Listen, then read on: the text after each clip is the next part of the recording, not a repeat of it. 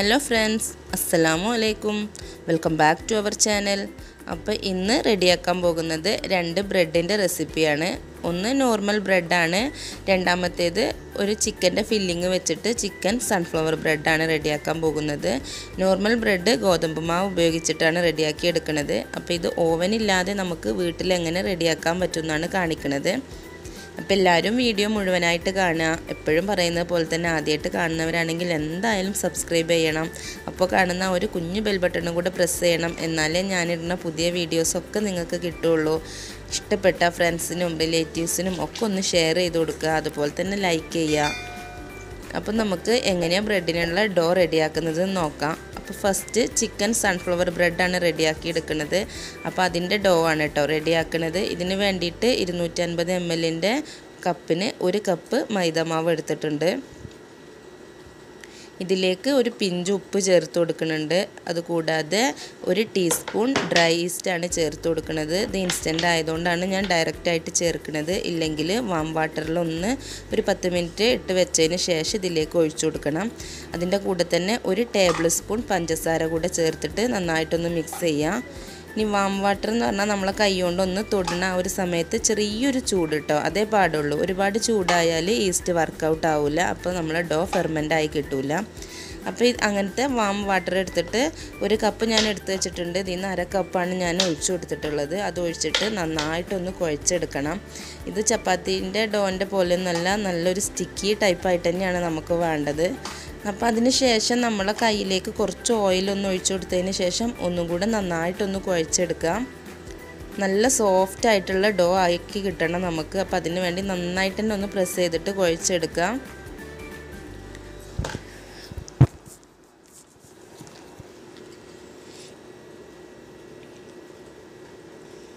ഇത് നന്നായിട്ട് തന്നെ കുഴച്ചെടുത്തിട്ടുണ്ട് ഇനി ഇതിന് ശേഷം നമ്മളെ കൈയൊക്കെ ഒന്ന് ക്ലീൻ ചെയ്തതിന് ശേഷം കുറച്ചുകൂടെ ഓയിലൊന്ന് സ്പ്രെഡ് ചെയ്തിട്ട് ഒന്നും കൂടെ ഒന്ന് നന്നാക്കി ഒന്ന് കുഴച്ചെടുക്കാം.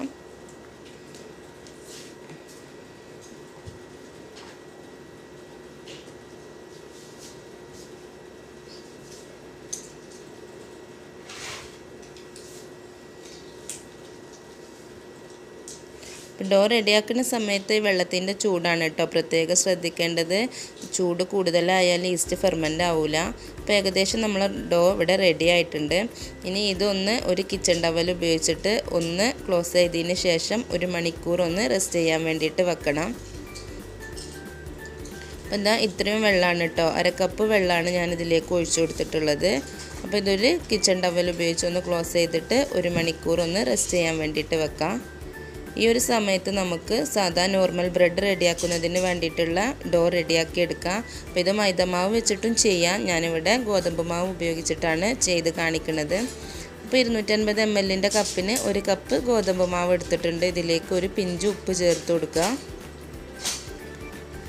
അതുപോലെ തന്നെ ഒരു ടീസ്പൂൺ ഈസ്റ്റ് ചേർത്ത് കൊടുക്കുക. ഇതിന്റെ കൂടെ രണ്ട് ടേബിൾ സ്പൂൺ പഞ്ചസാര ചേർത്ത് കൊടുക്കുന്നുണ്ട്. ബ്രെഡ് ആയതുകൊണ്ട് തന്നെ രണ്ട് ടേബിൾ സ്പൂൺ പഞ്ചസാര ചേർത്ത് കൊടുക്കുന്നുണ്ട്.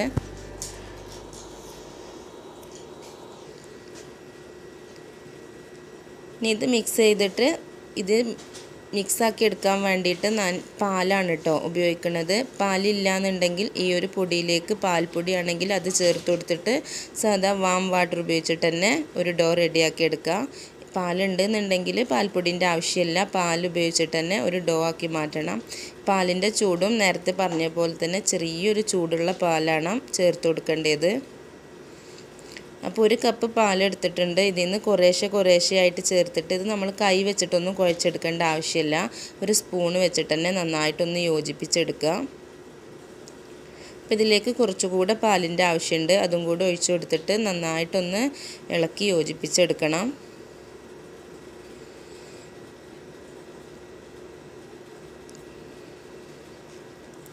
അപ്പോൾ ഇതാ ഈ ഒരു കൺസിസ്റ്റൻസിയാണ് കേട്ടോ നമ്മൾ ഡോ റെഡിയാക്കി എടുക്കേണ്ടത്. ഇത് കൈ ഉപയോഗിച്ചിട്ടൊന്നും കുഴക്കേണ്ട ആവശ്യമില്ല. ഇതൊരു സ്പൂൺ വെച്ചിട്ട് തന്നെ ഇതുപോലെ നന്നായിട്ടൊന്ന് യോജിപ്പിച്ചെടുത്താൽ മതി. ഇനി ഇതിലേക്ക് കുറച്ച് ട്യൂട്ടി ഫ്രൂട്ടിയാണ് ചേർത്ത് കൊടുക്കുന്നത്. ഇത് ഹോം മെയ്ഡായിട്ട് തന്നെ വാട്ടർ മില്ലന്റെ തൊണ്ട് കൊണ്ട് ഞാൻ റെഡിയാക്കി എടുത്തതാണ്. ഇതിന്റെ വീഡിയോ ഞാൻ മുമ്പ് അപ്ലോഡ് ചെയ്തിട്ടുണ്ട്. അതിന്റെ ലിങ്ക് ഞാൻ ഡിസ്ക്രിപ്ഷൻ ബോക്സിൽ കൊടുക്കാം. വേണ്ടവർക്കൊന്ന് പോയി നോക്കാം. അപ്പോൾ അതും കൂടെ ചേർത്തിട്ട് നന്നായിട്ട് തന്നെ ഒന്ന് ഇളക്കി യോജിപ്പിച്ചെടുക്കുക.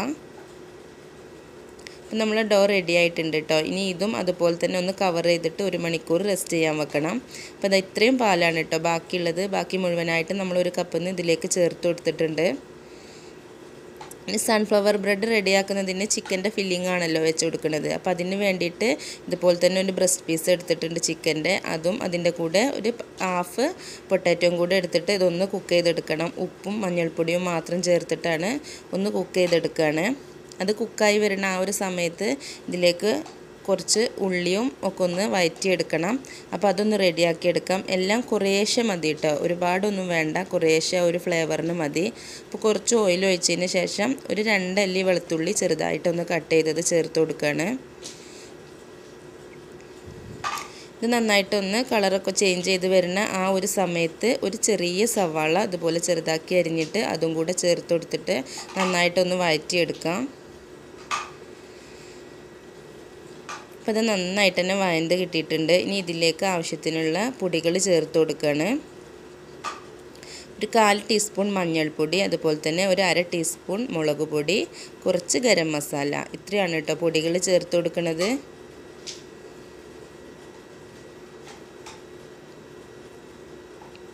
ഇത് നന്നായിട്ടൊന്ന് ഇളക്കി യോജിപ്പിച്ചെടുക്കുക. അപ്പോൾ ഇതിലേക്ക് ഉപ്പ് ചേർത്തിട്ടില്ല. അപ്പോൾ ആവശ്യത്തിനുള്ള ഉപ്പും കൂടെ ചേർത്തിട്ട് നമുക്കിത് ഫ്ലെയിം ഓഫ് ചെയ്ത് വെക്കാം. അതിനുശേഷം ഇതിലേക്ക് കുറച്ച് കസൂരി മേത്തി എടുത്തിട്ട് ഒന്ന് ക്രഷ് ചെയ്തിട്ട് അതും കൂടെ ചേർത്ത് കൊടുക്കുന്നുണ്ട്. അപ്പോൾ നല്ലൊരു ഫ്ലേവറാണ് കേട്ടോ. ഫില്ലിങ്ങിന് കിട്ടുക. അപ്പോൾ ഇതിവിടെ റെഡി ആയിട്ടുണ്ട്. ആ ഒരു സമയത്ത് തന്നെ ചിക്കനും പൊട്ടാറ്റോ ഒക്കെ നന്നായിട്ട് തന്നെ കുക്ക് ചെയ്ത് കിട്ടിയിട്ടുണ്ട്. അപ്പോൾ ചിക്കൻ നമുക്കൊരു മിക്സിയിലിട്ടിട്ട് ഒന്ന് ക്രഷ് ചെയ്തെടുക്കണം. പൊട്ടാറ്റോ ഇതിന്റെ തൊലിയൊക്കെ കളഞ്ഞിട്ട് ഒരു ഫോർക്ക് ഉപയോഗിച്ചിട്ട് നന്നായിട്ടൊന്ന് സ്മാഷ് ചെയ്തെടുക്കുക. അപ്പോൾ അത് രണ്ടും ഇവിടെ റെഡി ആയിട്ടുണ്ട്. ഇനി അത് രണ്ടും കൂടെ ഒന്ന് യോജിപ്പിച്ചെടുക്കുക. അതിന്റെ കൂടെ തന്നെ നമ്മൾ റെഡിയാക്കി വെച്ചിട്ടുള്ള ഒരു ഉള്ളി ഉണ്ടല്ലോ അതും കൂടെ ചേർത്ത് കൊടുക്കുക. ഇതെല്ലാം കൂടെ നന്നായിട്ടൊന്ന് യോജിപ്പിച്ചതിന് ശേഷം കൈ വെച്ചിട്ട് തന്നെ നന്നായിട്ടൊന്ന് കുഴച്ചെടുക്കുക.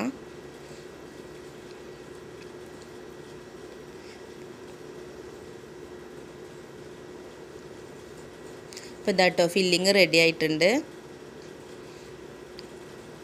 ഈ ഒരു സമയത്ത് ഇതാ ഒരു മണിക്കൂർ കഴിഞ്ഞ് നോർമൽ ബ്രെഡിന്റെ ഡോ നന്നായിട്ട് തന്നെ ആയിട്ട് വന്നിട്ടുണ്ട്.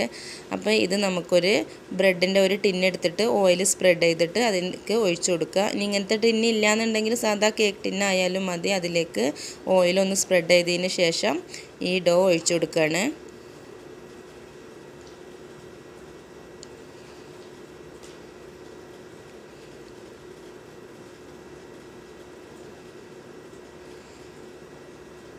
അത് എല്ലാ ഭാഗത്തേക്കും എത്തുന്ന രീതിയിൽ ഒന്ന് സ്പ്രെഡ് ചെയ്ത് കൊടുക്കുക. അങ്ങനെ ഒരു ലെവലാക്കി ഷേപ്പ് ചെയ്ത് അങ്ങനെ എടുക്കേണ്ട ആവശ്യമൊന്നുമില്ല. അത് ബ്രെഡ് പൊന്തി വരുന്ന ആ ഒരു സമയത്ത് തന്നെ റെഡി ആയിക്കോളും.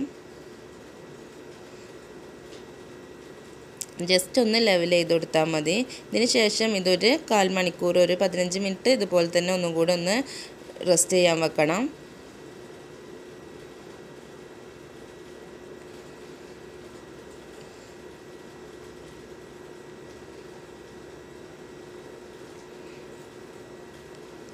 അപ്പോൾ ഈ ഒരു സമയത്ത് അതുപോലെ തന്നെ സൺഫ്ലവർ ബ്രെഡ് റെഡിയാക്കാനുള്ള ഡോവും നന്നായിട്ട് തന്നെ ഫെർമെന്റായി വന്നിട്ടുണ്ട്.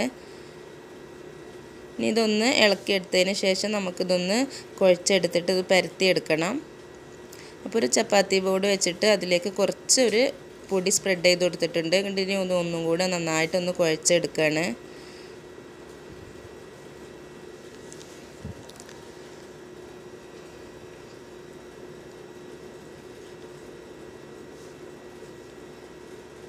അപ്പോൾ ഇവിടെ റെഡി ആയിട്ടുണ്ട്. ഇനി ഇത് രണ്ട് ഭാഗങ്ങളാക്കിയിട്ട് മാറ്റാം. നമുക്ക് ഒരു ബ്രെഡ് ഇതുപോലെ ഒന്ന് പരത്തിയെടുത്തതിന് ശേഷം ഫില്ലിങ് വെച്ചിട്ട് അതിന്റെ മുകളിൽ അടുത്ത ബ്രെഡ് പരത്തിയത് വെച്ച് കൊടുക്കുക. അങ്ങനെയാണ് ചെയ്യുന്നത് അതിനാണ് രണ്ട് പോർഷൻ ആക്കിയിട്ടുള്ളത്. അപ്പോൾ ഈ ഒരെണ്ണം നമുക്ക് മാറ്റിയേക്കാം. ഒരെണ്ണം നന്നായിട്ടൊന്ന് പരത്തിയെടുക്കാം. ഒട്ടിപ്പിടിക്കുകയാണെന്നുണ്ടെങ്കിൽ കുറച്ച് പൊടിയൊക്കെ ചേർത്ത് കൊടുത്തതിന് ശേഷം നന്നായിട്ടൊന്ന് പരത്തിയെടുക്കുകയാണ് വേണ്ടത്.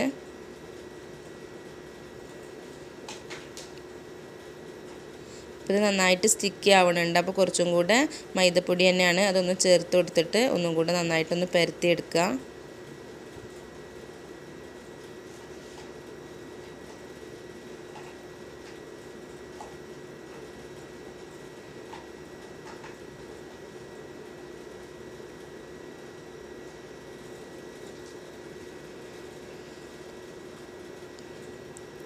അപ്പോൾ ഇതിവിടെ റെഡി ആയിട്ടുണ്ട്. ഇനി നമ്മൾ ഏതിലാണോ ബേക്ക് ചെയ്യാൻ വേണ്ടിയിട്ട് വെക്കുന്നത് ആ ഒരു പാത്രത്തിൽ കുറച്ച് ഓയിൽ സ്പ്രെഡ് ചെയ്തതിന് ശേഷം ഇത് അതിലേക്കൊന്ന് വെച്ച് കൊടുക്കുകയാണ് അപ്പോൾ ഷേപ്പൊന്നും ഒരു പ്രശ്നമല്ല. നമ്മളിത് റെഡിയാക്കിയതിന് ശേഷം ഒന്ന് റൗണ്ടിൽ കട്ട് ചെയ്തെടുക്കുന്നുണ്ട്. അപ്പോൾ ഇതിൽ ഇന്ന് ഫില്ലിങ് വെച്ച് കൊടുക്കുകയാണ് അപ്പോൾ ഇത് റെഡിയാക്കി വെച്ചിട്ടുള്ള ആ ഒരു ഫില്ലിങ് എടുത്തിട്ട് കുറച്ച് എടുത്തിട്ട് ആദ്യം നമ്മൾ സെന്ററിലൊന്ന് വെച്ച് കൊടുക്കണം. അതിന് ശേഷം ചുറ്റിലും ഒന്ന് റൗണ്ട് ചെയ്തിട്ട് ഫില്ലിങ് വെച്ച് കൊടുക്കുകയാണ് അപ്പോൾ ആദ്യം സ്പൂൺ കൊണ്ട് ഒന്ന് റൗണ്ടിൽ എല്ലാ ഫില്ലിങ്ങും ഒന്ന് ചേർത്തതിന് ശേഷം പിന്നെ കൈ വെച്ചിട്ട് തന്നെ ഒന്ന് ഷേപ്പ് ചെയ്തിട്ട് സെന്ററിൽ കുറച്ച് അത് അതിന് ചുറ്റും റൗണ്ടായിട്ട് കുറച്ച് ഫില്ലിങ് അങ്ങനെ വെച്ച് കൊടുക്കുകയാണ്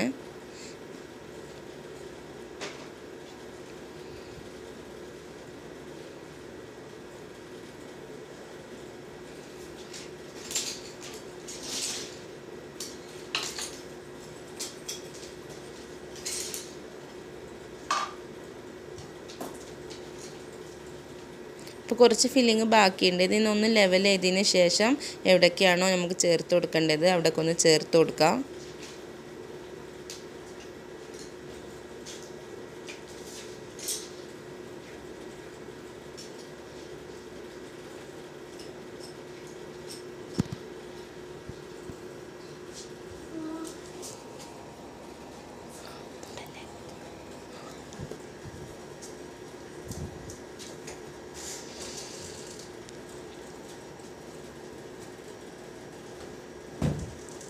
ഇനി ഇത് മാറ്റി വെച്ചതിന് ശേഷം ഇതിന്റെ മുകളിൽ വിരിക്കാനുള്ള ബ്രെഡ് ഒന്ന് പരത്തിയെടുക്കുകയാണ്. അപ്പോൾ ഇതും കുറച്ച് പൊടി നല്ലോണം തൂവിയതിന് ശേഷം ഇതൊന്ന് പരത്തിയെടുക്കുക.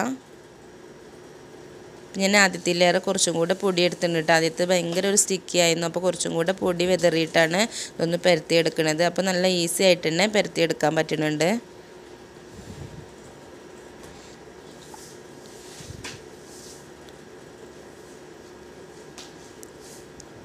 അപ്പോൾ ഇതിവിടെ റെഡി ആയിട്ടുണ്ട്. ഇനി ഇത് അതിന്റെ മുകളിലായിട്ട് വെച്ച് കൊടുക്കുക.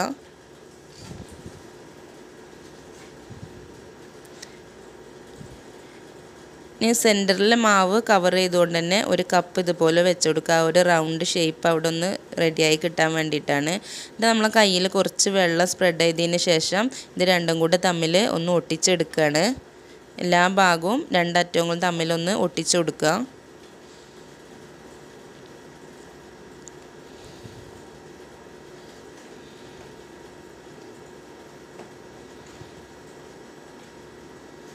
അപ്പോൾ ഇതെല്ലാ ഭാഗവും ഇതുപോലെ തന്നെ ഒന്ന് ഒട്ടിച്ചു കൊടുത്തിട്ടുണ്ട്. അതിന് ശേഷം ഒരു കത്തി ഉപയോഗിച്ചിട്ട് ഒന്ന് റൗണ്ട് ചെയ്ത് കൊടുക്കുക.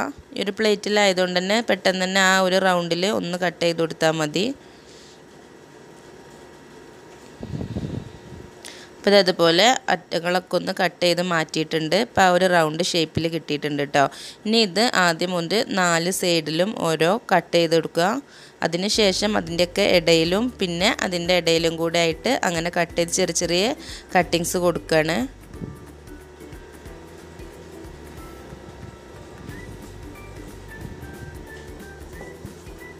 ഇതെല്ലാം ഇതുപോലെ ഒന്ന് കട്ട് ചെയ്ത് വെച്ചിട്ടുണ്ട്. ഇനി കുറച്ചൊന്ന് ശ്രദ്ധിച്ചതിന് ശേഷം ഇത് ഓരോന്നും ഓരോന്നും ഒന്ന് തിരിച്ച് വെച്ച് കൊടുക്കുകയാണ് കേട്ടോ. ജസ്റ്റ് ആ ഒരു മസാല അങ്ങനെ ഇപ്പം സൈഡിലേക്കായിട്ടുള്ള അതൊന്ന് മുകളിലേക്ക് കാണുന്ന ആ ഒരു രീതിയിൽ ഒന്ന് തിരിച്ച് വെച്ച് കൊടുക്കുക. ശരിക്കും കാണുന്നുണ്ടാവും എന്ന് കരുതണേ. ഇതാ ഇതുപോലെ കേട്ടോ അപ്പോൾ സൈഡിലായിട്ടുള്ള ഒരു കട്ടിങ് ഉള്ളത്. ആ ഒരു കട്ടിങ്ങിന്റെ ഭാഗം ഒന്ന് മുകൾക്കാക്കി കൊടുക്കുക. അപ്പോൾ ഇത് നല്ല സ്റ്റിക്കിയാണ് കേട്ടോ അപ്പോൾ നമ്മൾ കയ്യിൽ കുറച്ച് വെള്ളം ആദ്യത്തെ ആ ഒരു വെള്ളം ഉള്ളത് കൊണ്ടാണ് ഇത്ര സ്റ്റിക്കി ആവണത്. അപ്പോൾ അതൊന്ന് നല്ലോട്ട് ക്ലീൻ ചെയ്തിട്ട് നല്ലോണം കൈയൊക്കെ ഒന്ന് തുടച്ചതിന് ശേഷം കുറച്ച് ഓയിൽ സ്പ്രെഡ് ചെയ്തിട്ട് ചെയ്യുക അപ്പോൾ പെട്ടെന്ന് ചെയ്യാൻ പറ്റും. അപ്പോൾ വീണ്ടും സ്റ്റിക്കിയായി തുടങ്ങുന്ന ആ ഒരു സമയത്ത് കുറച്ചും കൂടി ഓയിൽ കയ്യിലൊന്ന് സ്പ്രെഡ് ചെയ്തതിന് ശേഷം ഇതൊന്നിങ്ങനെ തിരിച്ചു കൊടുക്കുക കേട്ടോ അപ്പോൾ പെട്ടെന്ന് തന്നെ ഓയിൽ സ്പ്രെഡ് ചെയ്താൽ പെട്ടെന്ന് തന്നെ റെഡിയാക്കി എടുക്കാൻ പറ്റും. അപ്പോൾ ഒരു മസാല ഇങ്ങനെ മുകളിൽ കാണുന്ന ആ ഒരു രീതിയിൽ ഇതൊന്നും കണ്ട് തിരിച്ചു കൊടുക്കുക. അത്രേ വേണ്ടുള്ളൂ. അപ്പോൾ ഇത് ഏകദേശം ഒരു സൺഫ്ലവറിന്റെ ആ ഒരു ഷേപ്പൊക്കെ കിട്ടിയിട്ടുണ്ട് എന്ന് കരുതണേ ഇതുപോലെ ആക്കിയെടുക്കുക കേട്ടോ ഇനി സെന്ററിൽ നിന്ന് ഈ കപ്പൊന്ന് മാറ്റിയതിന് ശേഷം അവിടെ നമുക്ക് കുറച്ച് ബ്ലാക്ക് സീഡാണ് ഞാനിവിടെ ചേർത്ത് കൊടുത്തിട്ടുള്ളത്. കറുത്ത എള്ള് വേണമെങ്കിൽ അത് ചേർത്ത് കൊടുക്കാം. അപ്പോൾ ഇത് ഇവിടെ റെഡി ആയിട്ടുണ്ട് കേട്ടോ ഇനി ഇതൊന്ന് ഇതുപോലെ തന്നെ ഒരു പത്ത് മിനിറ്റ് നമ്മൾ കവർ ചെയ്തിട്ട് വെക്കണം. അപ്പോൾ ഞാൻ നല്ലോണം പ്രീ ഹീറ്റ് ചെയ്യാൻ വെച്ചിട്ടുണ്ടായിരുന്ന ഒരു പാത്രം ഇതിലേക്ക് ആ കേക്ക് ടിന്നെ ഇറക്കി വെച്ച് കൊടുത്തിട്ടുണ്ട്. അപ്പോൾ കറക്റ്റ് ഒരു മുപ്പത് മിനിറ്റ് കഴിഞ്ഞിട്ടാണ് തുറന്ന് നോക്കുന്നത് അപ്പോൾ ഇത് ഇവിടെ റെഡി ആയിട്ടുണ്ട്. ഇനി ഇത് ഇതിൽ നിന്ന് വാങ്ങാം കേട്ടോ അതുപോലെ തന്നെ ഒന്നും കൂടെ പ്രീഹീറ്റ് ആക്കിയതിന് ശേഷം വേണം ഈ ബ്രെഡിന്റെ പ്ലേറ്റ് വെച്ച് കൊടുക്കാൻ വേണ്ടിയിട്ട്. അതെടുത്ത പാടന്നെ വെച്ചാൽ ചൂട് കുറവാകും നമ്മൾ ചെറിയ തീയിലിട്ടതല്ലേ. അപ്പോൾ ഇതും അതുപോലെ തന്നെ ഒരു മിനിറ്റ് ഒന്ന് ഹൈ ഫ്ലെയിമിൽ കത്തിച്ചതിന് ശേഷം അരമണിക്കൂർ ലോ ഫ്ലെയിമിലിട്ടതിന് ശേഷമാണ് ഇതും റെഡിയാക്കി എടുത്തിട്ടുള്ളത്. ഇപ്പോൾ ഇതും ഇവിടെ കുക്കായി കിട്ടിയിട്ടുണ്ട്. അപ്പോൾ ഇതിന്റെ മുകൾ ഭാഗത്ത് കുറച്ച് ബട്ടർ സ്പ്രെഡ് ചെയ്തതിന് ശേഷം ഒരു നോൺ സ്റ്റിക്ക് പാനിന് പഴയത് ഏതെങ്കിലും ഒരു പാൻ എടുത്തിട്ട് നന്നാക്കിയിട്ട് ചൂട് ചെയ്തിട്ട് ഇതിന്റെ മുകളിൽ വെച്ച് കൊടുക്കുക. അത് ഇതിന്റെ മുകൾ ഭാഗം ഒന്ന് കളർ ചേഞ്ച് ചെയ്യാൻ വേണ്ടിയിട്ടാണ്. അത് വേണ്ടാന്നുണ്ടെങ്കിൽ സാധാ നമ്മൾ ഓവനിൽ ബേക്ക് ചെയ്ത് കിട്ടുന്ന ആ ഒരു പരുവത്തിൽ തന്നെ ഉപയോഗിക്കുക. അതില്ല മുകൾ ഭാഗം ഒന്ന് കളറ് വേണമെന്നുണ്ടെങ്കിലാണ് ഒന്ന് ബട്ടർ തൂകിയതിന് ശേഷം ഒരു ചൂടാക്കിയിട്ടുള്ള ഒരു നോൺ സ്റ്റിക്ക് പാൻ അതിന്റെ മുകളിൽ വെച്ച് കൊടുത്താൽ മതി. അപ്പം മുകൾ ഭാഗം ഒന്ന് കളർ ചേഞ്ചായി കിട്ടും. അങ്ങനെ നമ്മൾ അപ്പം നമ്മൾ രണ്ട് ബ്രെഡ് ഇവിടെ റെഡി ആയിട്ടുണ്ട്. സാധാ നോർമൽ ബ്രെഡ് ഇതാ നല്ല സോഫ്റ്റായി കിട്ടിയിട്ടുണ്ട്. അതുപോലെ തന്നെ സൺഫ്ലവർ ബ്രെഡും നന്നായിട്ട് തന്നെ കിട്ടിയിട്ടുണ്ട്. അപ്പോൾ എല്ലാവരും വീട്ടിൽ ഇതുപോലെ ഒന്ന് ട്രൈ ചെയ്ത് നോക്കുക. അപ്പോൾ ഇൻഷാല്ല അടുത്ത നല്ലൊരു വീഡിയോ ആയിട്ട് കാണുന്നത് വരെ അസ്സാം വലൈക്കും